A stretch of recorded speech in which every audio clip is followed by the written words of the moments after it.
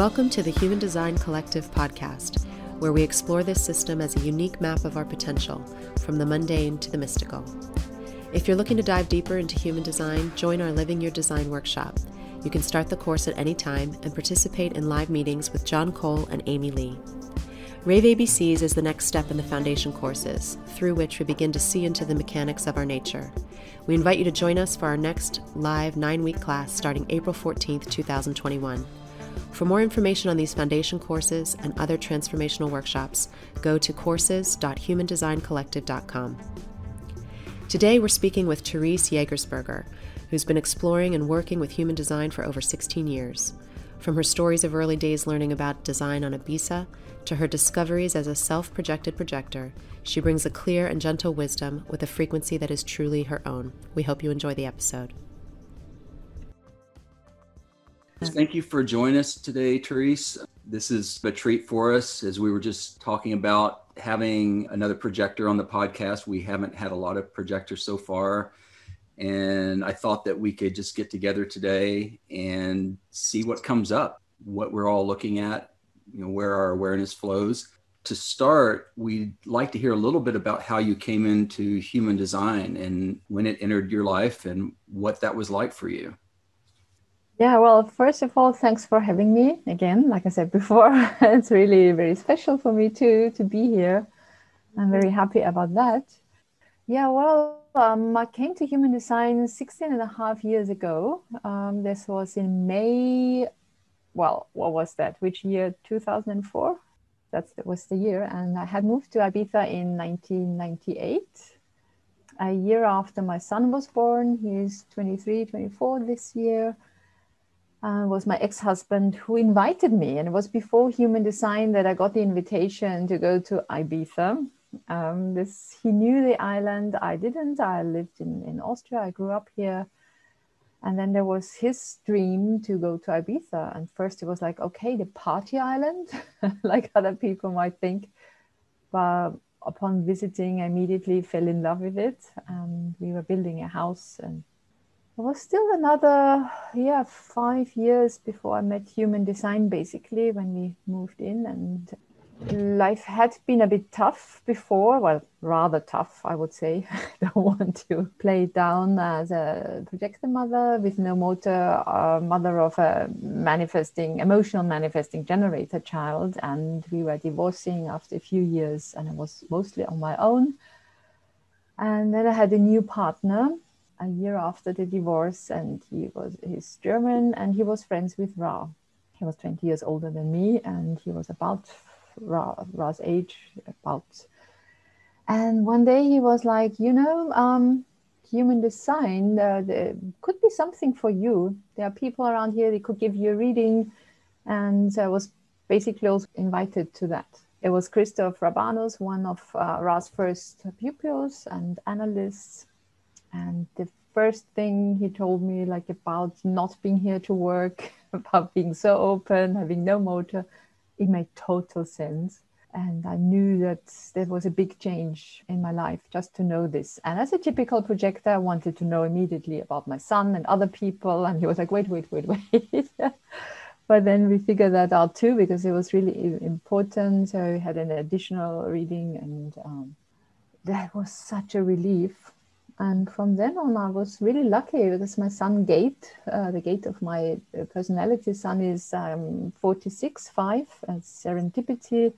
So it really has felt to be in the right place at the right time. Soon afterwards i was invited to ra's house because christoph was friends and it was still those days where things were smaller and people went to each other's houses and yeah i had some um, birthday lunch there with Ra. Was it Ra's birthday or or one of his children? There's a birthday cake in one of the big pictures, so I don't remember.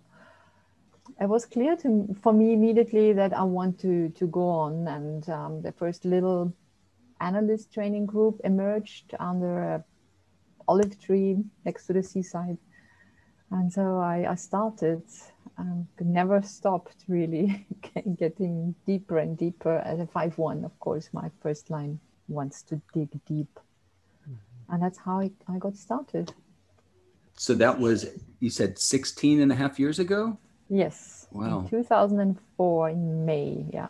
On 24th of May, I had my first reading. And Yeah, it's a long time. that's a long time. it's like, hmm. and how has it changed over the years? Like over that time period of 16 years, your either relationship with the knowledge, you know, living as a projector, I- you said it just Mm. kept deepening and going deeper into it. And what was that process like for you? Well, in the beginning, typical projector, I wanted to know it all. I think I had 5 1 on top of it. And uh, after a few months, I thought I knew so much. And I started giving readings, which was just part of my human design education as an analyst. So, like, not pretending I'm an analyst, just saying I'm a student. And I was telling everybody everything. And whoever could get hold of later on, I was apologizing and saying, now you get a reading for free. I mean, it didn't pay me. Maybe it paid me coffee or a meal in the beginning. Of, and I was like, oh, what did I do? So um, with deep, the more I learned, uh, the more I experienced, the more I could also let go of thinking I knew everything and being so mental. As I have a split between my two definitions, my mental definition, the abstract channel um, of uh, 64 and uh, 47, trying to make sense of everything all the time. And at the same time, I have my big G connection to the throat with two parallel channels, the alpha and the role model, the 8-1 and the 31.7. Took time, but with time, I could tell the difference if I was speaking from my mind, which can be okay if it's invited, if it's only some sense making and, and all that.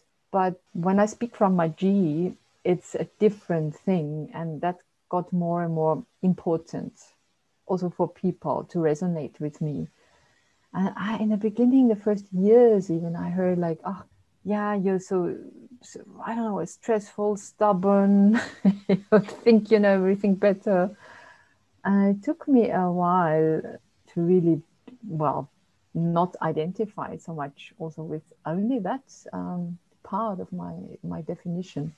Get more into my G and let my myself guide from there and be of value to others, which I think is is more um, they need from me.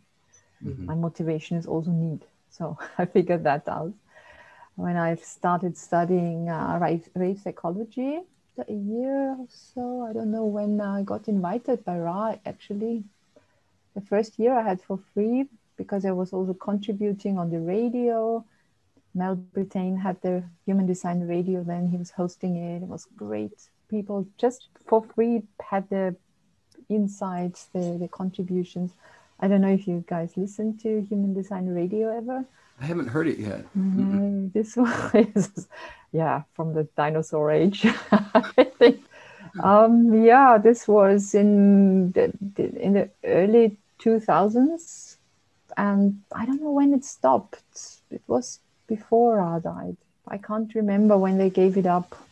Um, then I said something about the G projectors there on, on the radio um, about when I was a child that I talked to my adult self. And it must have been from my G because I imagined my adult self on a staircase, upper, uh, higher than I was with my seven years old or so. And I implored my adult self, saying, you do not forget what it is like to be me, to be a child. Don't be like the other adults ever. So I was like really trying to protect me from homogenization or something. Mm-hmm. yeah, so I, I, talked about that. And then Ra just wrote me an email saying, You're invited uh, for the next human design event. And if you want to, you can study rave psychology or something. But it was also, I have to admit, because he knew my then partner and he knew I wanted to be involved in something. It was also a job thing and um, the Jovian, um, what do you call customer support. Yeah, so that's how I got like really involved and met all these people at human design events uh, who were coming every once a year. They came from um, Genoa, Bliven, and um, uh, lots of people. They were just some don't even live anymore from England, America, Richard Beaumont, and also, of course, uh, Austrians, Andrea Reichelwolf. And yeah, I don't know, Ilse Sendler was still the Austrian division. Peter Schöber also gave me another reading then. And I was just really lucky to be always where the human design people were. Mm-hmm. And people on the island were pretty poor. So those who dwelled there also like staying the winter where they couldn't do much business. So my readings were not giving me much of income, but I learned so much.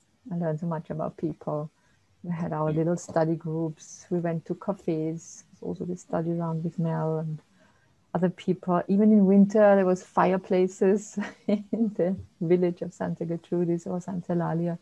We just talked human design all day, more or less. It was normal for me.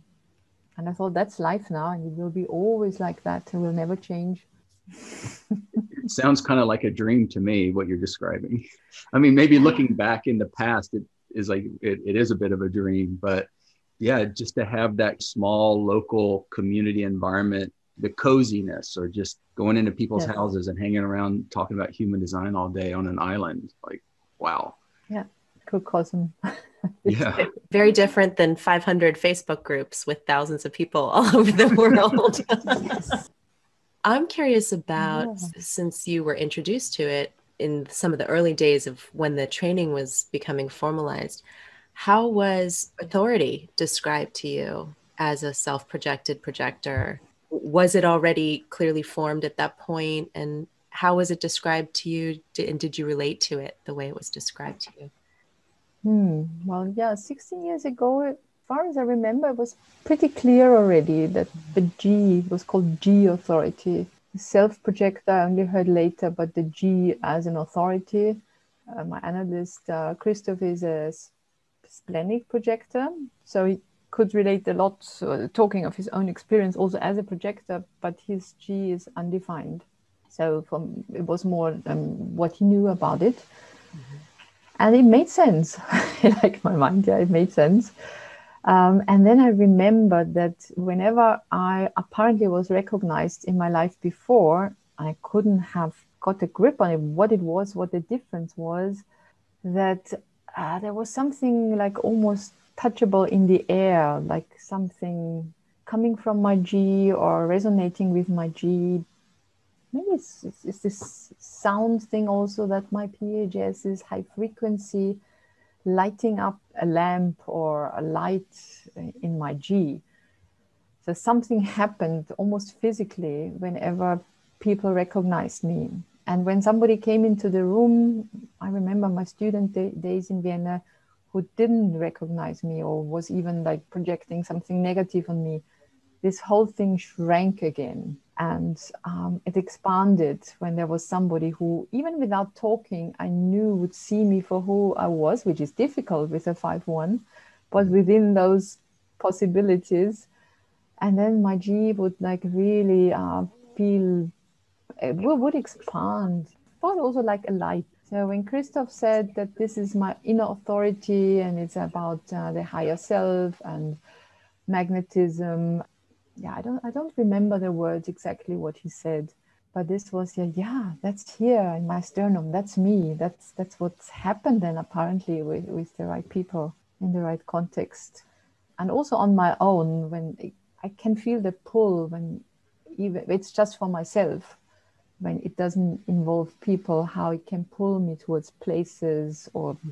towards something that makes me happy it's mm-hmm. also very strong yeah, yeah, so this made sense or could could really resonate that I'm a G projector.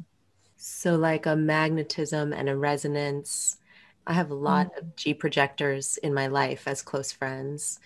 And there does seem to be something about it that I sense that feels like this very natural connection to happiness, to a certain kind of yes. Yes. resonance with their own sense of what lights them up and makes them feel happy that feels very different to me than when I sense a sacral center lighting up or a spleen lighting up. It, ha- has a different quality mm. to me, but it does feel like a kind of resonance and a kind of light and something that's connected to happiness, which I always found so fascinating about G projectors to have that as an authority just seems very, very particular in that way. Yeah, this I heard later about the happiness only this, um, but it also was totally clear that is the thing. And I thought always everybody, it's it's the same for everybody. So before human design, I think um, that must be the same for everyone. Happiness is the thing to be. People I know there's so many different things that are important or whatever.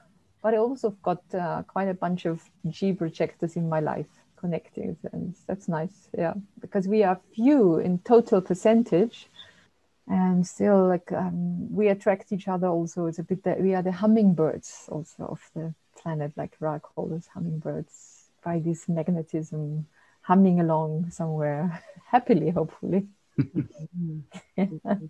Right. And even in that, there's a lightness to it. Mm. It's, yeah. it's not like a freight train or no, no, no, no, no or a cougar or something. no. It's a hummingbird. It is. It is. Yeah. No motor is different than motors, even for projectors. We have so many different types, uh, not types, but different variations of, of projectors mm. especially the energy projectors. But still, projector is a projector. Aura does all the talking. You mentioned this word pull earlier in relationship to your authority, and I wanted to ask about that and the magnetic nature of the mm. G center. My definition is the 2551, which is basically the ego authority. I also experienced that as a type of pull, and I think it's the connection to the G. It's it's not just about my will, but it's also about, in a sense, what I love, what I want, and what I'm pulled towards. And a lot of that process feels like who was it who called it decision watching? Was that Dirk? I think he said, Yeah, it's not decision making, it's decision watching. And that really resonated mm-hmm. with me. It's like watching my body or my will or what I love pull me in a certain direction. Do you experience like that pull in that way, or how is that for you? Yes, absolutely somehow when it can almost i don't know how you can say that well english is not my first language. Also sometimes i'm, I'm short of words. Um, it's, a, it's a whole being um, but of course it's it's felt in in my sternum pull like i have this for places. Must have been now 11 12 years ago. I suddenly knew and had this pull that i have to go to hawaii or kauai actually. Mm. something had picked it up. Uh, had been already in contact with uh, John Martin. Then uh, there was customer support for Jovian, and it was in the days 15 years ago. Also, when he wasn't really recognized in the beginning because he didn't have a formal education.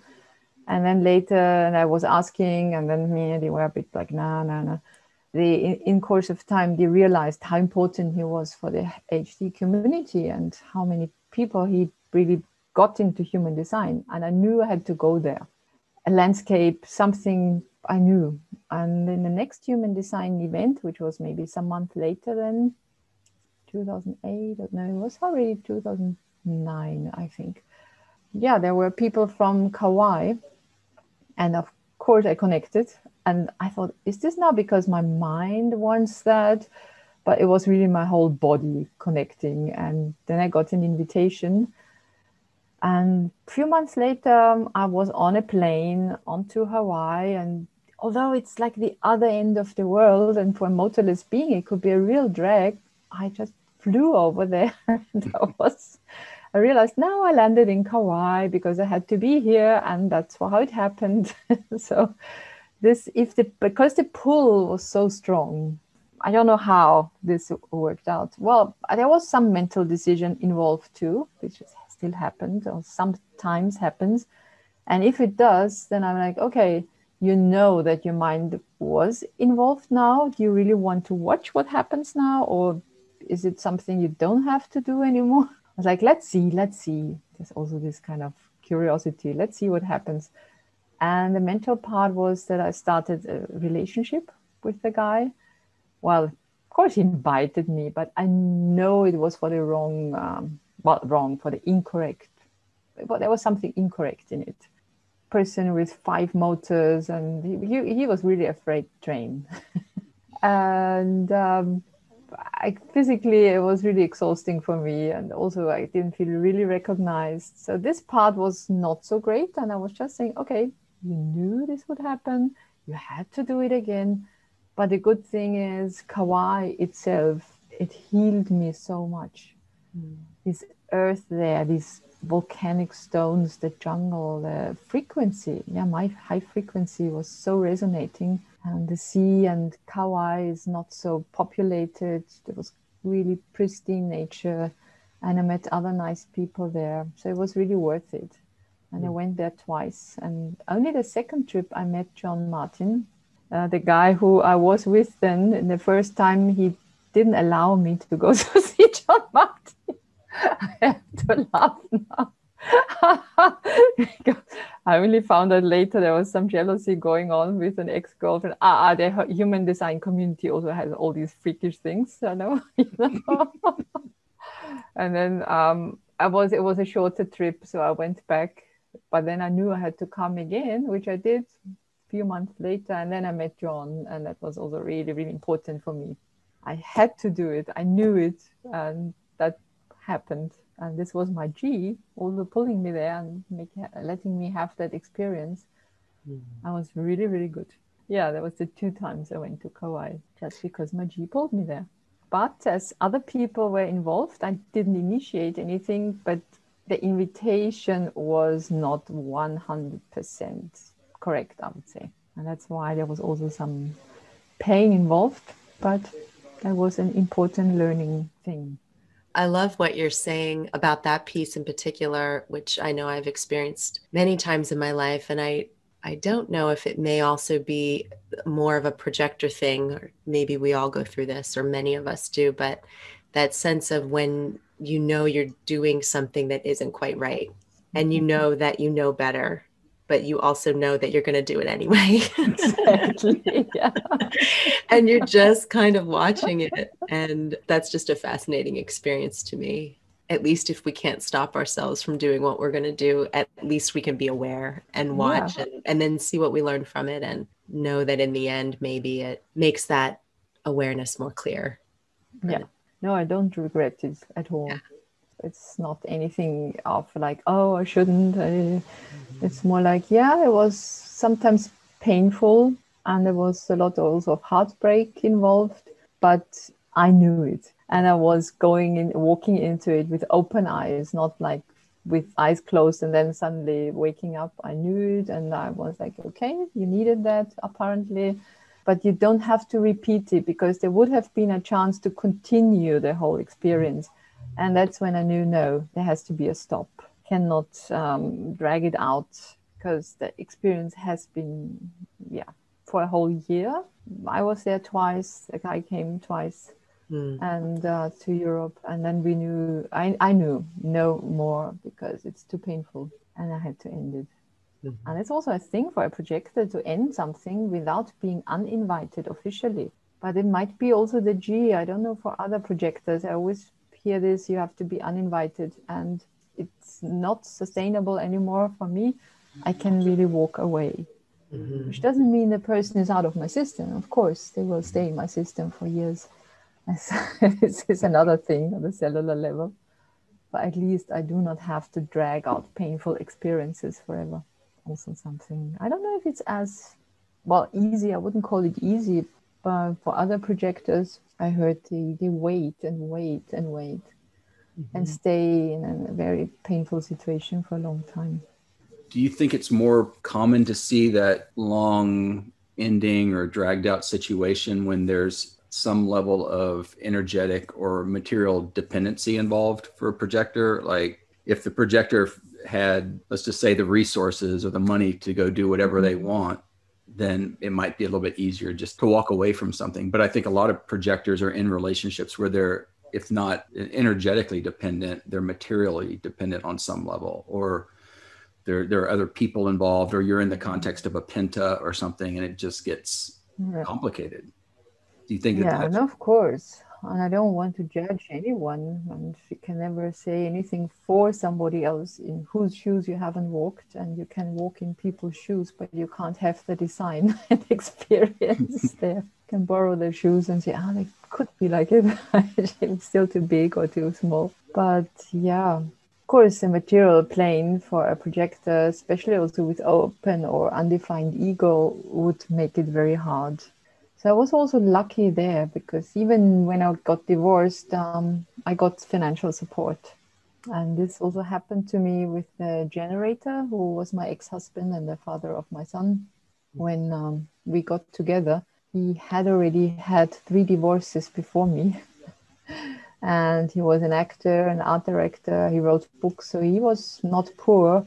And uh, there was always a fight for money in the divorces. And with my G, even before human design, of course, it, it worked. I just didn't know how, but I did. I said to him, Well, if you want, we can write a prenuptial that I don't want any money from you. And typical open ego, ha ha ha. I don't want any money, uh, so you do not have, feel threatened. Poor you. Yeah, what the other women did to you. My God, I'm so much better. I don't know what I tried to prove then. No, but it came also from my G. It really came from my G. I didn't want him to have this feeling if goes wrong that he has to pay and there's a fight we will be fair i said and we'll just sort it out. And just because i said that and it came really from my heart well the heart part of the g he said and you know what? And we also write into that prenuptial that because you give up your job as a teacher i was a teacher then um, that you will um, be supported by me um, until also I was pregnant then already when we married until our son is old enough and, and you'll never have to fear to be poor. So it came from me wanting to give him something from my, my G and this came oh. back to me. And then when it came to the divorce, things got tougher and he I think he would have wanted to take some of it back. But it just was clear then it was written and so I was supported. And we made friends again on off it worked in a way that I didn't have to stay or didn't even consider staying for money. I wouldn't have anyways. I had other offers, I had them quite often in my life.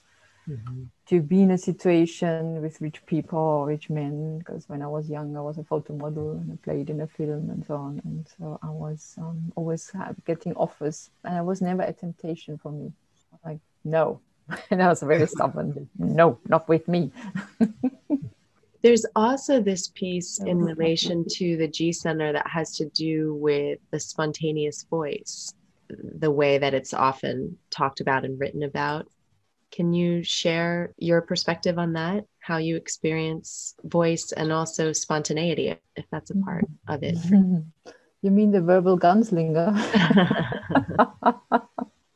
Yes, I know a lot about that.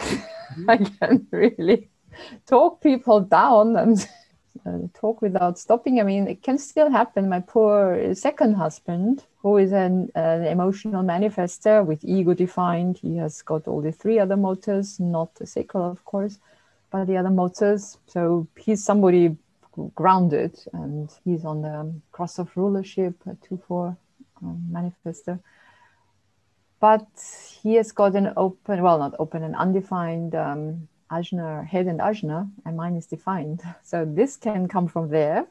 That's annoying because all the compromising. But this gunslinger G, uh, when I have to share something, also when I'm really positively excited because there's something new and it makes me happy and I want to be there, and he listens. So that's the right person for me. While my ex-husband, oh my God, he couldn't hear, he couldn't, not a minute. He was like, oh, I don't want to hear it, just stop it. And with my husband now, he's like really a patient listener and even gives me feedback. And although he's not into human design, he knows about human design and he says, yeah, he can see whatever I say about it, that it is the way it is. And he doesn't say it's about right or wrong because that's not one of his ways of seeing things or these things especially it's more like yes he says i know you need to talk and to listen to yourself so even says that although he's not into him because he whatever he would say i wouldn't hear it especially not in the beginning just has to come out. Yeah. So absolutely, there is no no choice. But I know the difference now between environments, people who would invite me to do that, or where I'm generally basically invited, and where I'm not. And there I have to really stop myself. I really learn to shut up. so, good projector, but it's still hard often enough. I want to, but I'm, no, no, you're not saying it. You're not saying it. It's a powerful projector skill. the art of shutting up. what also helped that Genoa Bliven, who was the former head of human design in America, like also like I don't know when 50 years ago or so, once said to me, you know, projector. He's a manifester. I don't know if you know Jenno. Yeah, mm-hmm. and he's a manifester, and he said, yeah, you know, it's not so bad. Like projectors always talking and even if they're not invited and this is nee, nee, nee, going on but you can compare it to a mosquito and that's really annoying and that picture really helped me and i was like one day somebody will just smash me squish me against the wall so i better don't but i heard myself then when i could see the reaction by other people who were not happy with what i had to say like, ah, I'm the mosquito now. It's like me. So stop, stop. It's a learning. Mm-hmm. Do you have this also? Is this more a G projector thing? I mean, I guess every projector has this kind of just comes from somewhere else. The voice. Is, mm-hmm. Yeah, for me, the voice is a central part of my process and the gunslinger is a common experience for me so okay. i do have to really watch that i don't get carried away with my own awareness when people are not interested in mm. it i wonder if this is part of the individuality which you may share also that mm. when my mm-hmm. awareness gets really locked on something that seems true to me it's stubborn in a way it's thick it's rigid and that can add to the cold, pointy, penetrating, uh, mm. irritating kind of interface if that's not what somebody's asking for. And even when they are asking for it, I'll often find that I would probably feel the urge to go on much longer than someone else mm, actually want yes. Yeah, well, this, so I don't know which line your 43, 23 has got if it's the one track mind or any other variation. Yes, it is. It is. How did you know? I don't know. You must be psychic. well, it's the advantage maybe of the compromise with my little gate 23, which I have there. It's can if I surrender to your whole channel, I'm like, ah, what is it? What is it? Is it one track mind? Yeah, no, it's interesting how, how you we experience it ourselves. And still sometimes we're so helpless in the whole thing. Mm-hmm. Even even knowing better. How long have you guys been in, into human design? I found human design in 2009 and it mm-hmm. was right after my daughter was born. My daughter was a couple months old.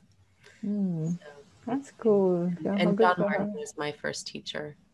So that was John Martin was my John, first really? teacher. Yeah. Oh, so was, yeah, well, I'm talking about. That was my introduction John. to being a projector. And uh, wow, radical transformation. Then you really got it.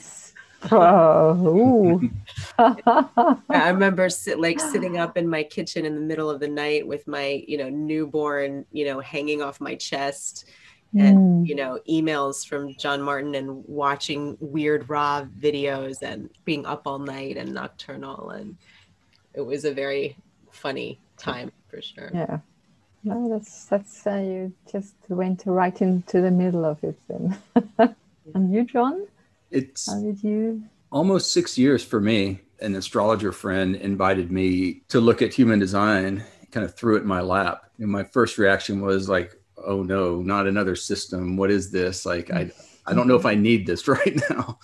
And, but then uh, just finding out what it, just right off the bat, reading about what it meant to be a projector and mm. learning about that, it just started making so much sense. And was this kind of missing puzzle piece in my life that I hadn't been able to quite find a point of reference for or to, to, understand why a lot of my experiences were so different than the people in my family or that I mm. my friends and you know what I'd kind of grown up with. And so it immediately just kicked off a, a pretty intense deconditioning process.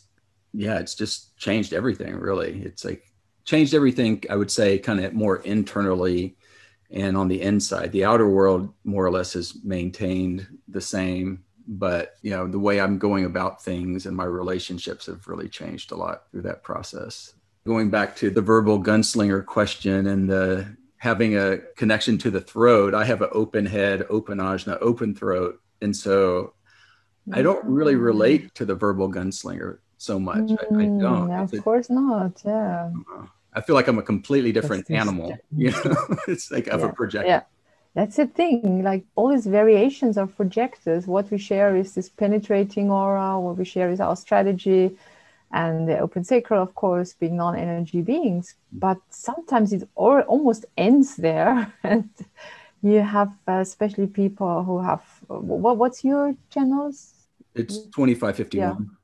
Yeah, of course, it's the only channel. Yeah, not two. Yeah this, so this is not uh, going up to the throat. Mm my sister had that and i know that so very well how this uh, power of the ego well it's power yes it's a really the pumping heart goes into the g but that's where it doesn't really ex- necessarily express it in the same way like me with my 8 1 and 31 7 really having to come out at the throat mm-hmm. but it's it's more like a power, this determination that you probably feel that's how you take your decisions when they're backed up by the ego, I guess. Mm-hmm. Um, yeah, that's how you must feel. So you, you never have? Did you ever have this uh, urge to still tell people what's good for them? Not like a verbal gunslinger where you can't help it, but because projectors see, you see everything. How would this be expressed by by somebody who doesn't have those channels to the throat? Well, mm-hmm. I absolutely did. When especially when I was younger, I would see a lot, be watching mm-hmm. a lot, and then without invitation or recognition, just start telling people what they should and shouldn't mm-hmm. be doing or having an opinion about it. I have gate 17 up in my open ajna, and it was mm-hmm. never received well. It, it was very seldom received the way I wanted it to be. And I think it was a big part of my deconditioning, understanding these invitation dynamics and what it meant to be a projector to address that or to to look at that and bring more awareness to that process. What that's looked like for me now is really just not saying much or not talking and just waiting and waiting and waiting. And then if someone will specifically engage me and ask me a question, then everything will come online and then mm. we can mm. have a really nice exchange or we can plug in but without that recognition and that specific engagement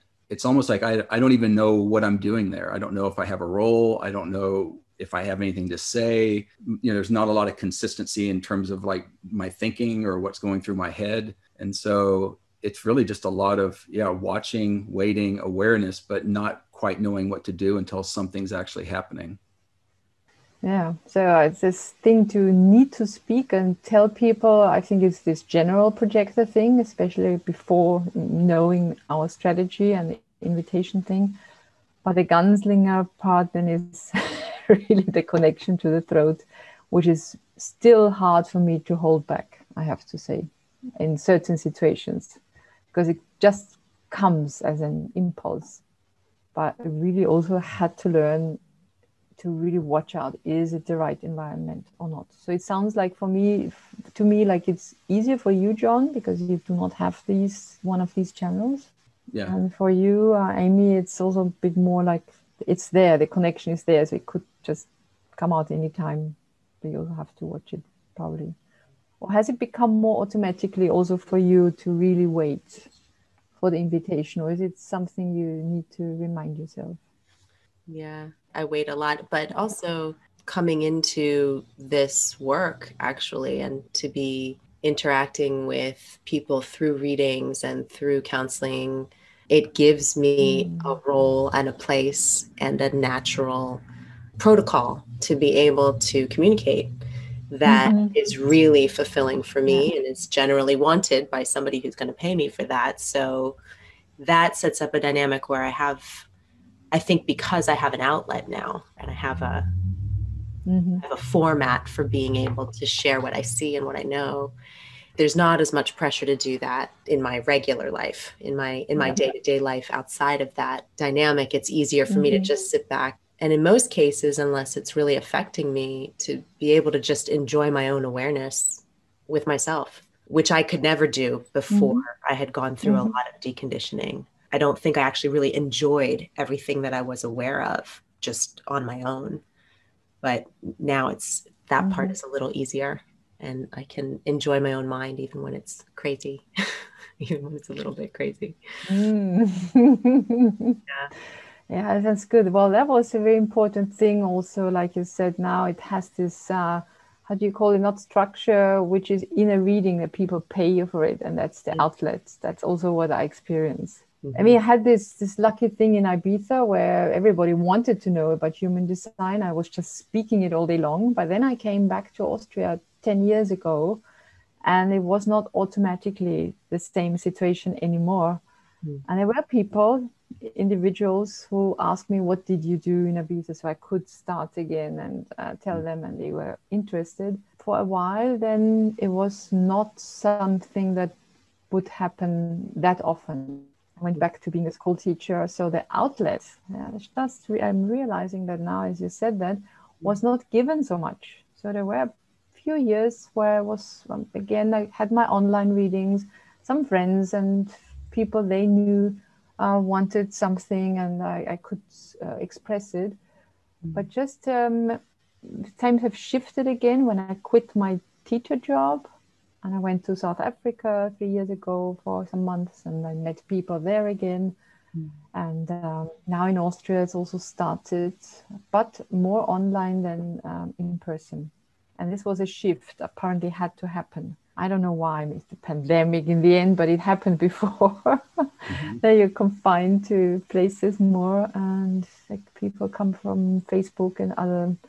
They're mostly Facebook actually. Yeah. And I can express it again, it's needed again, and my motivation need can give what's needed by others, and so it's this pleasant feeling. Yeah, that was a very good thing. I'm like, why is it sometimes like that and sometimes not so much? But when I was involved more as a school teacher again for a few years, when I also thought, yeah, I can't quit yet, and I reduce my hours I work there, but I will still go to a school.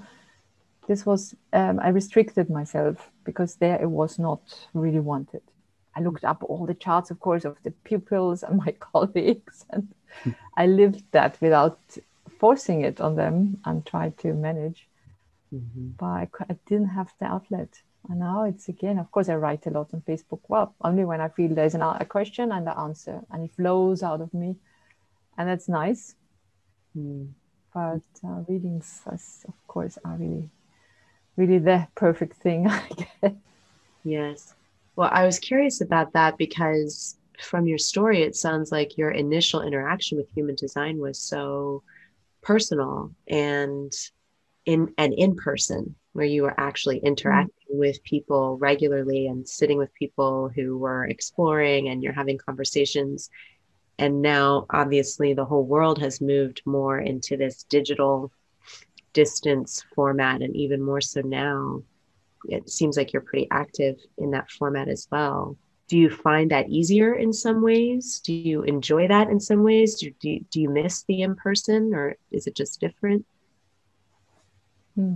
I will always miss Ibiza. That's like, I don't know, a world that doesn't exist in that sense anymore. Of course, that Ra died and he was there still. So this was six, seven years before he died that I was there when he was there and he inspired people, although he always said he, of course, as a five one, same for me, and for all five ones, uh, we more we can reach strangers better than our own people close to us. And his original community in the north of Ibiza, San Juan, where the old hippies and sannyasins were, they didn't really take him that seriously. But it was still kind of a spirit. And even though he was not like they were like, yeah, yeah, and he's a bit crazy and this and that. they still they had they knew each of them knew which type they were. They had heard of they were just listening and uh, then there were areas in Ibiza where other people had just come more recently than the old hippies, and they took it all in and they really wanted to know because they were the strangers that were more interested and know the old stories. The former mates of, of Ra were just sometimes like, yeah, yeah, he had all kind of this and that. But in each community, no matter if it was the old hippies or the um, other people who came uh, later or just freaks all over the island and the tourists in summer, they all had this thing Ibiza is somehow connected with human design and they want a reading or they want to have an update or they want their child know something about their child. So this was something that i don't think really ex- has existed anywhere in that density over years. That's why okay it had to end probably at one point. It was too good to be true. I was a starting point and it spread all over the globe now and now it's all digital and online and we connected and it's all good and fine but I will carry this with me alongside with other people. That this was a point where it was normal and natural, and we knew that the whole world will not be like that one day. It is four percent of the poor four percent, and uh, so there's always a limit, a limitation, and a limit to the people who can have access and can live it in under any circumstances. Yeah, but still, it's spreading somehow, at least around the globe even when I came to South Africa, there was somebody already waiting for me and say, "We built something up here." Well, I couldn't come back now this year because I wanted to come back, and then there was the pandemic, so it didn't happen. South Africa is also well not in a good place now, and lockdowns and stuff, mm. so you can't travel. Mm. That's what it is. So we are only online. you can only do stuff online, and unfortunately, I'm adaptable. I, I'm do they adaptable mm-hmm. apparently so new world and i can deal with it. It's also probably because i'm a cave person. I can sit in my cave and write on my computer or contact people. Be in contact. I think the marketplace people is, is pretty, pretty tough for them right now under these circumstances. Yeah. i've had just an exchange with someone today and just like yeah marketplace and oh it's not so easy Mm-hmm. Like I can just sit in my cave. It's okay. I'm active in my cave, so I can just do stuff there. Yes, it's so good to always know the variables, especially for projectors. That's something that helps us so much to be correct and to check as a signpost. And I'm really lucky that I could study that for three years with Ra when I was in Ibiza. And I really hope everybody can, yeah, get to know about it. But there we are again. Everybody is not possible. it's only the people on our fractal. We've been talking a lot about the G Center today. There was another aspect of it that I was hoping to explore with you is the Penta. You've got two Penta channels and a lot of activations in, in your G. And I'm wondering what your experience is as a projector in group dynamics. Have you been in pentas besides your birth penta? I mean, in terms of like your living situation, what is that like for you? Do you find that you end up taking on these roles that are defined in your in your channel definition, or? It's a good question, also. All good questions, anyways. But yeah, the penta. I did this one thing with Alok in Ibiza many years ago about family pentas. So I got into pentas and then I looked into business penta, but I never did an education there but I've got access to, to a lot of stuff. So, and also what I've learned in the theory and what I can experience myself or could is that I provide or people who have the channel provide the channels to the penta. So the penta has it then, but um, especially as a projector, you drown in it. You cannot be who you are. You cannot be recognized. And I couldn't as a child, of course. And I had two manifesting generator parents so my role was to, of course, bring the public relation of my 1A to the family, but as a fifth line being, it failed badly. So I had a bad reputation as a child. And I was a rebellious teenager, and it was terrible and horrible. And they hated me for that, especially my mother, who wanted it all in a certain way. And then with my bad reputation or whatever it was, I couldn't hide with my channels. And was always the whole family thing then who had this reputation through me. So this was not so great. And the, my, my leadership channel, I felt not invited I cannot personally guide or lead into that future, which is this logical 31.7 alpha. Um, they could use it as a family thing, but I personally can't, and it caused friction and it was painful. Enter is different, of course, in certain workshops that I do sometimes in groups. If it's small enough, group work my present family situation is only me and my husband now. My son moved out. So that's not really a penta situation. I can see that people are interested in me as I'm interesting for a penta, which is this not self body, of course. um, we cannot have yet um, conscious pentas, aware pentas. That's not for us human beings. So I haven't had a lot of positive experience in permanent pentas. I have my people in my life that are not there at the same time necessarily, who would form a good penta maybe if we are all together, which doesn't happen that often. But as a person, I, I'm rather, and I know this is better for projectors, to be at the edge and guide the penta if you can be the alpha. If they see you as that one alpha, it doesn't have to be a projector even who can guide or not an alpha project. But yeah, with Penta, um, I usually struggle a bit. I'm a team player. I can see that um, when I'm in groups that happen and teams that I'm appreciated. But I haven't been actually in a long lasting Penta. I could not say that. Yeah. So my Penta experience is I, I don't like to be too much in a steady group all the time also. I can't be who I am I just I wanted to see if it's the same for you or similar, or if it's very different for you with the penta. It's very similar to what you describe. I feel like I can do pentas for a limited mm. time.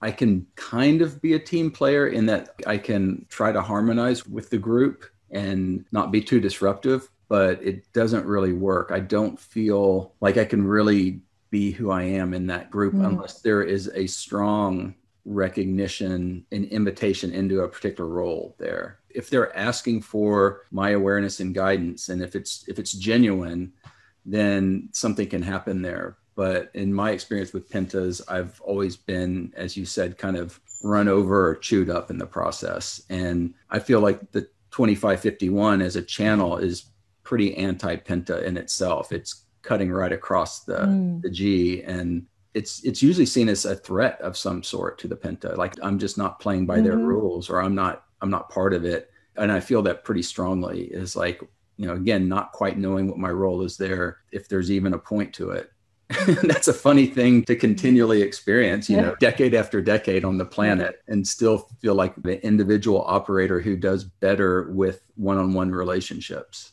So i can relate to what you're saying. Even the of course i'm a penta person with my channels and um, i can enjoy that also that i contribute with my channels but same thing still happens that i cannot be truly myself which is a different thing on a correct one-to-one basis mm-hmm. so it's enjoyable in and out but on a long-term basis i wouldn't want to be in a penta uh, it's functional, it's competing, it's competitive. All the pentas compete with each other. So, of course, it's good to have me in a penta with my two channels. I can show the neighbors if it's not a fifth line thing who cannot, as a person, bring the practical solution, which is sometimes hard in a penta. You're absorbed, and then as an individual, as a fifth line, it's like, hmm, this is not practical. So, what are you doing in this penta? just thinking about it, but also probably because as a child I had such a tough experience in my family and I didn't feel I was seen really in the Penta, although I contributed. They wouldn't have had those channels without me, but still didn't want to let me go. Or actually, yeah, stay, stay, but be different. Mm, no. Isn't isn't that fascinating? It's such a an experience that I think many people probably have in relationship.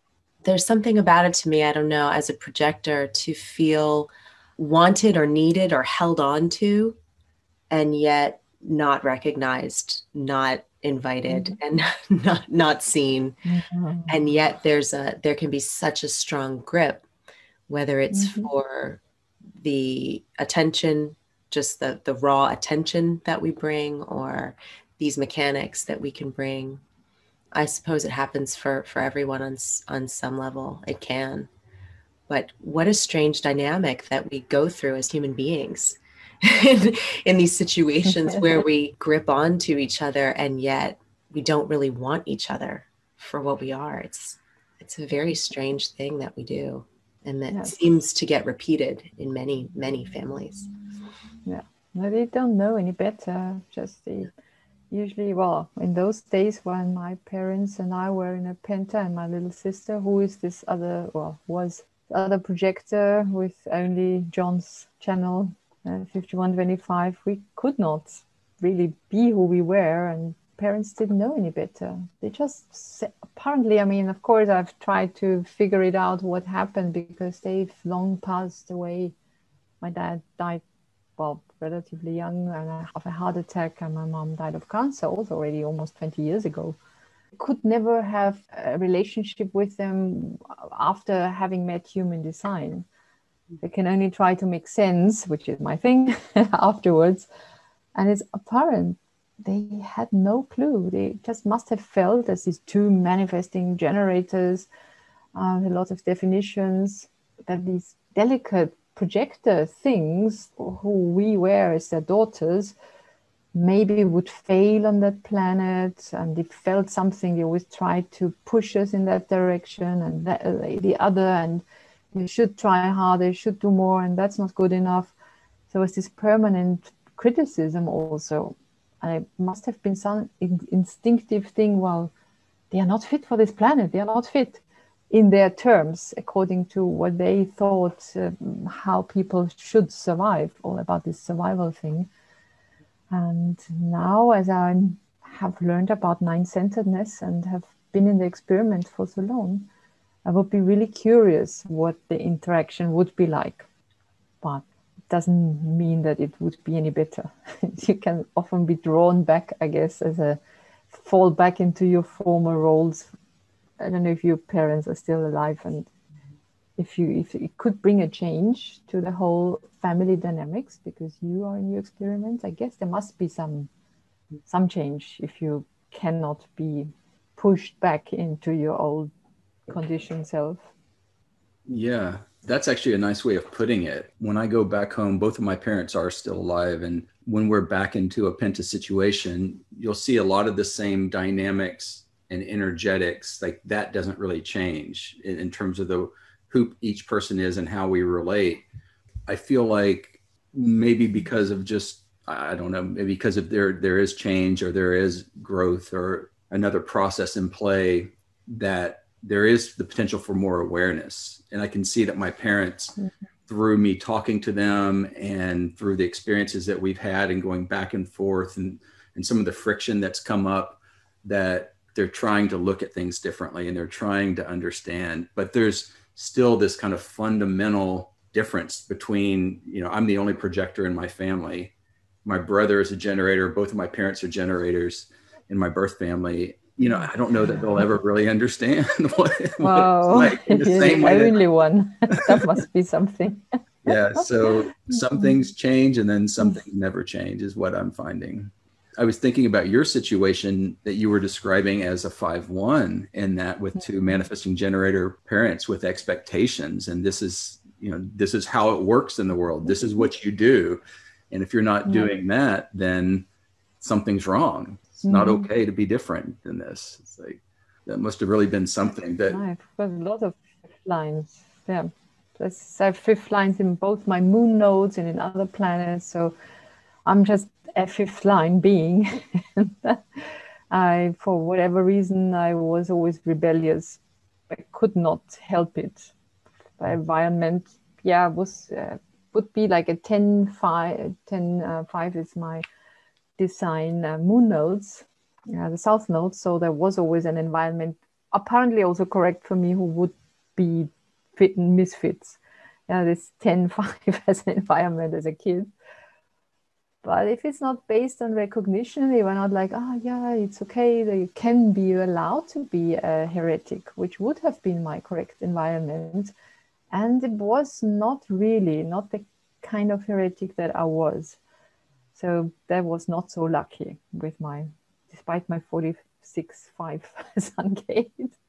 There were some forces just trying to put me in a different mold for even if it was heretically my parents were not politically conform with the others necessarily so it was a kind of a heretic environment by the way i was was not seen as yeah appropriate either and yeah that was really tough. And i was even beaten up i have to say because I could not help it. I did what i did or was who i was. Just stuck to myself also. It could not change me. There was a lot of pain and, and sadness also as a teenager. I was very sad. I was i had a phase where i was crying every day. I remember that. Only then later it became a bit easier i had a lot of good chances by serendipity but also a lot of not being exactly recognized for who i am yeah so this five one life is not always easy i guess yeah. i can relate to it in that i think especially if you the parents or the people around you can sense that there's a certain kind of intelligence in you and a capacity in you and then there's the fifth line expectation it's sort of like well you could do it you could I, we can see that you're smart enough you're capable you could fulfill this potential. So why aren't you? Why won't you? And I exactly. I think about it for myself because I think when I was younger, I had having more openness than you do. I would just imitate. I, I could imitate everything, and that's just what I would do. I didn't ah, have anything to anchor me. Yeah. I didn't have that anchor, mm-hmm. but I I can hear it, yeah. and that in the way you're talking about it, I can almost feel that strongly defined anchor in you. And I could see why, as a child, like mm. that story you told, you, you wouldn't be able to beat that out of you or strip that out of you. It's, it would mm. persist. It, you wouldn't be able to make it go away. So, they would have had to kill me, I guess. Yeah. or yeah. whatever. Yeah. Yeah. I, I, remember somebody somebody saying a story about that too. It was a manifester. It might have been Alok. Somebody told us told a story about having that kind of mm-hmm. uh, clarity inside themselves and and being hit by a parent and then having the parent realize mm-hmm. wow this isn't going to work i'd have to kill this kid like there's no level of escalation to this violence that would control this child what a, yeah. a trip yeah. to see that this is the design yeah how can you change it you cannot and you shouldn't of course it would be so sad if this was possible Mm-hmm. You can break people, of course. Yeah. I don't know what it would have taken so that at least it was not that extreme that I don't think I was ever close to being broken. Mm-hmm. And it's also more a fourth line thing, the rigidness of the four ones, for instance, you could break them if you put enough pressure on them. Mm-hmm. Like with the G, I would still feel some love in me because that was who I was. It was my identity. And of course, it hurts if this is criticized but to break it, I don't know what it would take. a lot, I guess. And so I always felt there's still something, and I can't help it. But I was also very much ashamed and full of guilt because it hurts so often. No, that's wrong, and I shouldn't do it like that whatsoever. So there was a lot of shame and guilt being built up. And there was also a Catholic environment on top of everything in school and I didn't do it right for them either. And yeah, everybody had something to say why I was not the perfect little girl or teenage girl that they expected me to be. I was so far from it. I mean, I didn't do things. It was just the look in my eyes. I, I remember teachers freaking out. I was sitting in the last row in a class and he was talking something in the front. And as you said, if you're intelligent and you know it and I was also bored then, and then I just rolled my eyes at something he said. I was quiet, I was silent, but he focused on me, of course. Yeah, although there were many pupils still in classes in like 30 years ago, even longer, 40 years ago. And he would just start screaming from zero to, I don't know, 100. You go out, you leave this class, you can't be here, you just, I would push you through that closed door if I didn't feel the consequences, he even said. It was just a look in my eyes. That was so provocative. I don't know. I couldn't see it myself. And then he shouted himself into a rage. And then he was like, and I was about to pack my things and leave the classroom. I'm like, okay, he doesn't want me here because I roll my eyes. And he even said that he could read from my lips that I had formed the word idiot with my lips. And I didn't. I don't know what I did, but he projected that on me. Oh. and uh, before I could even leave or could even get up from my desk, he was like, no, no, no, you stay, you stay because you in, in German you say washed with all waters. Yeah, you will just he was afraid of me that it could be his detriment if I had to leave the classroom. I would do something to him. he really saw the devil in me. and, I was like, okay, then I'll stay here. And he didn't know to he wanted to kick me out, but he said he couldn't, and it got really intense. Well, this happened to me. Quite a, a fifth line experience. Oh. But this hasn't happened to me for a long time now, at least I have to say. To be seen okay. like the devil, like the demon, like I don't know, the Antichrist. Times have changed, and human design has really helped me to find different environments, to find different people, and not be so like I don't know what it was. Mm-hmm. Just not in the right place at the right time, I guess. Yeah there was this no choice thing as a kid and it was also because they wanted me to go to some gymnasium that's called in german in, in austria where it's the highest school but i always wanted to go to the lowest of easiest of all schools possible because i was like no i'm not doing anything anymore. It just pissed me off everybody. So i ended up in schools where they were not the best schools actually because they refused to do anything uh, that's probably also worse than not so helpful to being treated with respect. It Took me a while that we still did my A levels in the end and studied and finished my studies. So it was not a thing that hindered me because somehow it always happened. But I ended up in environments. Wow. Mm. I think back of it, being screened at, it was just very short of being hit even in school. But then I left and one day and I got drunk and I came back drunk into class again. So it was not just them, it was me as well, misbehaving as much as I could. And then you became a teacher. And I became a teacher, yeah. I was a school teacher. but I have gate 15 also as a gate of extreme. I have it twice. It's the other moon node on the design side. That's uh, 15.5. So it's always about extremes. But now I've quit school and I'm a, an adult education and I train trainers and I do all the soft skills that I like communication. I don't have to mark, I can do group dynamics and mm. just have to be cautious not to overstrain myself.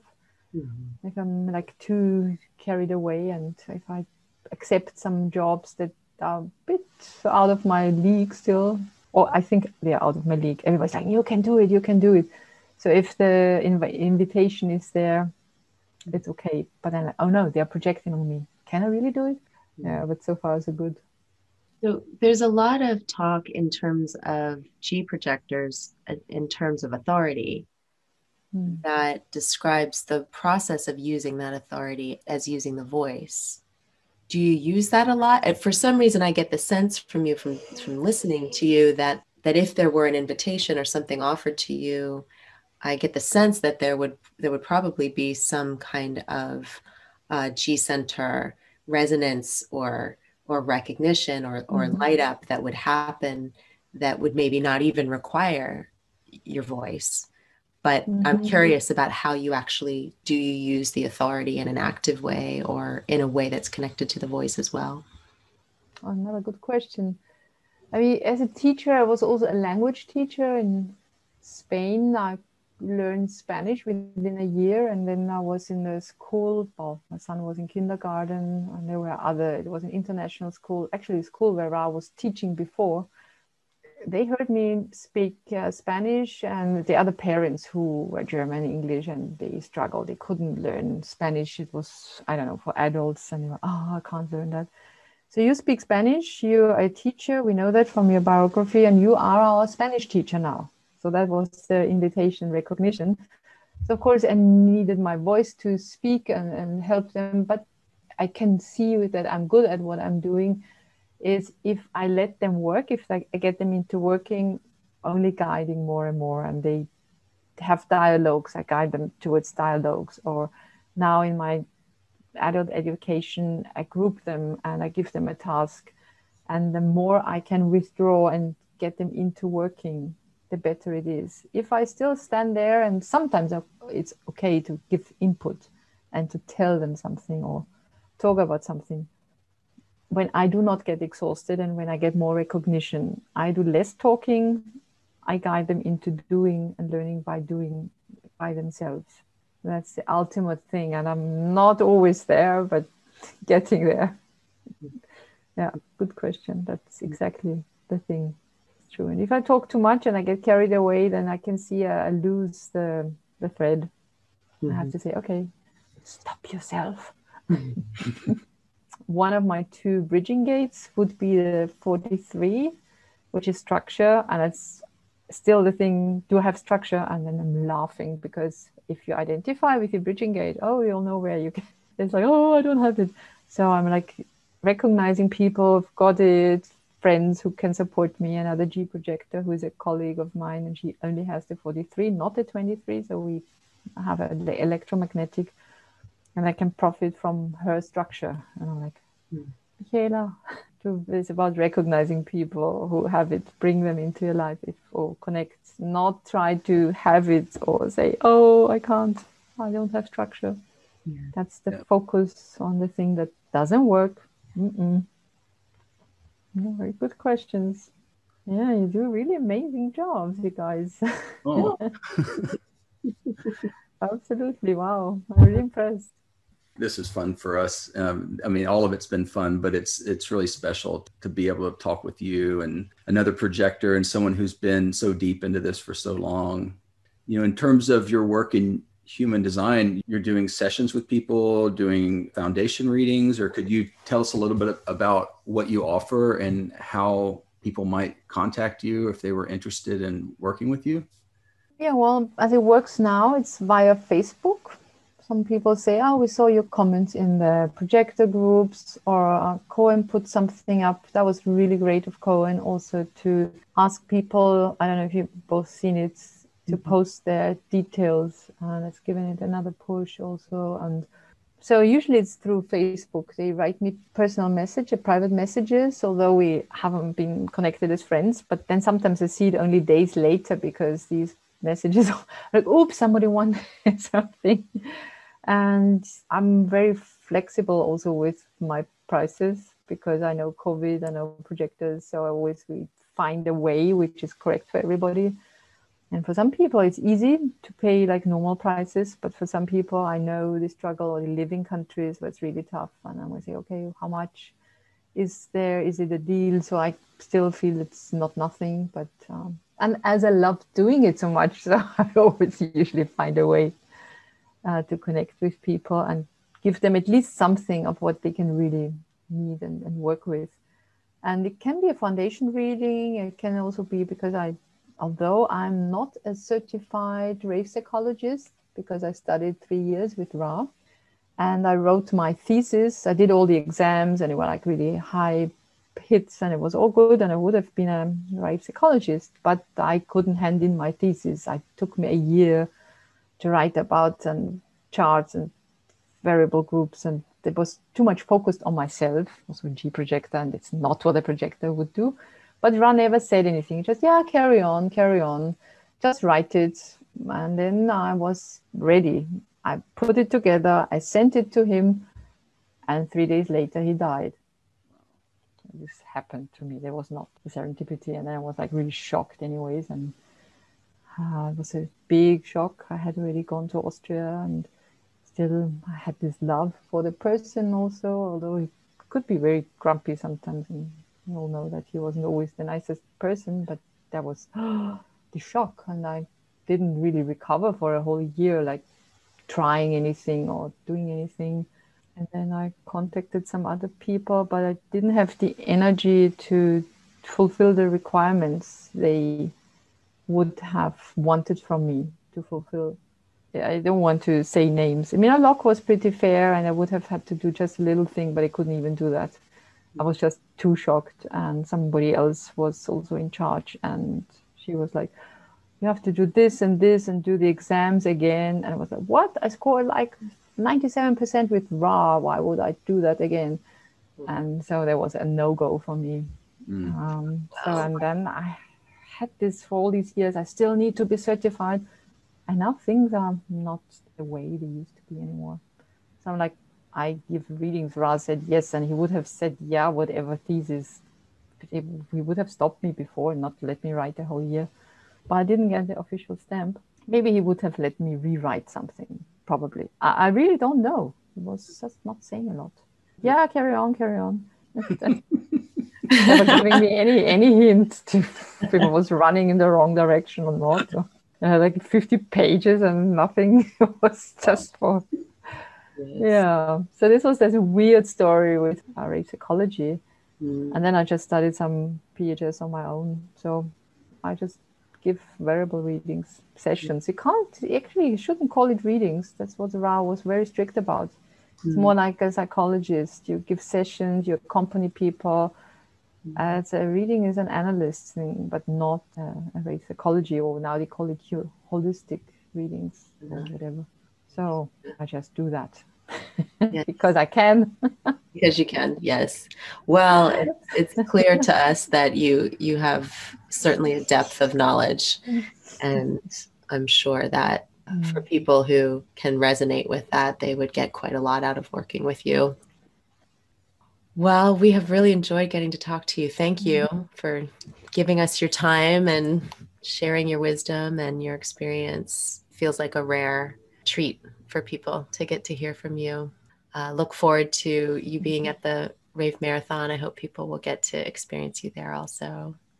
Mm, yeah, I hope it's, it's more, uh, my, my idea is more like about uh, projectors, our role in the future and coming up to 2027 what can we do in the future yes with my logical channel of the 31.7 hopefully being part of the invitation otherwise i can't say anything about the future yeah. but i've really really enjoyed talking to you and i'm still like wow the question you're seeing me i'm very deeply touched also hmm. my G lights up. Yay. oh, good. thank you, guys. Yeah. Well, thank you so much. Yeah, I loved it. I'm mm. looking forward to hearing your talk at, at the Rave Marathon. Oh my god! Yeah, it's like haven't really got an agenda, which for my left mind will come up something. I need some plans, otherwise, although I have hopefully a good foundation after 16 and a half years. Yes. but still, about the marathon, there needs to be an agenda. yes, yes. Yeah. I was thinking mm-hmm. about how funny it is that we were talking about how much as projectors we need to learn to shut up. And then how funny it is to be put in this position where it's like, can you talk for an hour? It's like, yes, I can come up with something. we, we can come up with something to with something to say, I'm sure. Oh, something will come up. in any case. Yeah. Yeah, well, thank you, both of you, and very happy to have connected with you. And thanks again. And it's really made my evening here, made my day, made my week, whatever. Oh, that's wonderful. Thank you. Yeah, and thanks to everybody who will listen. And um, it's it's good that yeah, John and Amy doing that. Yeah, grateful, grateful, grateful for that chance. Thank you. Thank you.